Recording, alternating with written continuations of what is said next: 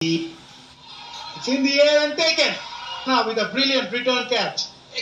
Have a look at the wicket again. It was a top edge there, but look how Nahida. ফিরে যাচ্ছেন স্নেহ রানা কোনো run করেননি প্রথম বলেই তুলে দিয়েছেন ও my goodness oh my goodness unbelievable আরও একবার দেখে নিব কীভাবে আউট হয়েছেন দেবিকা সহজ ক্যাচ তুলে দিয়েছেন Devika departs for naught. There she goes, missed it completely.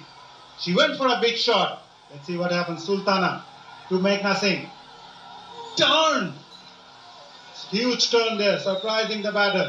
দুপাশে দুটো ফিল্ডার সেট করা আছে বড় শট খেলেছেন এবং চারটা রান পেয়ে গেলেন ওয়াও হোয়াট আ শট খুবই গুরুত্বপূর্ণ ডেলিভারি বল হাওয়ায় ভাসিয়ে দিয়েছেন ফিল্ডার আছেন একজন দুটো বাউন্সে গেছে তার স্কোর্স লেভেল এক রান চাই মারুফা আউট হয়ে গেছেন Yes! The match is tied!